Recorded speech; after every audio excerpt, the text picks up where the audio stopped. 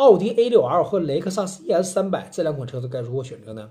奥迪 A6L 商务啊气息比较浓重，开奥迪 A6 的有的是很有钱，但有的你猜不出他干嘛，它是很神秘，是那些开路虎、开奔驰的都要去给他点头哈腰，就是你猜永远猜不透，它最神秘的一个车子 C 级车里啊。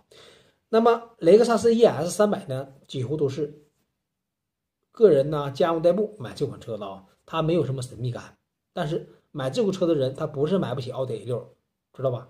他相中的看好的地方他不一样，但绝对不是囊货，绝对是有是有头脸的人物。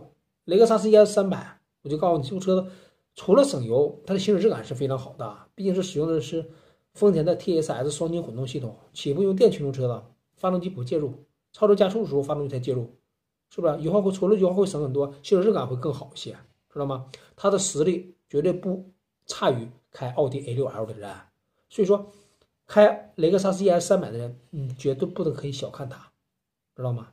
当然，奥迪 A6 呢，你要说它高大上，它可以高大上；你要说是稍微低点档，它也可以低点档。这个车是最有神秘感的，知道吗？那么视频间的小伙伴对我说的有没有不同意见和想法，也可以在评论区留言。欢迎大家转发、评论、点赞，拜拜。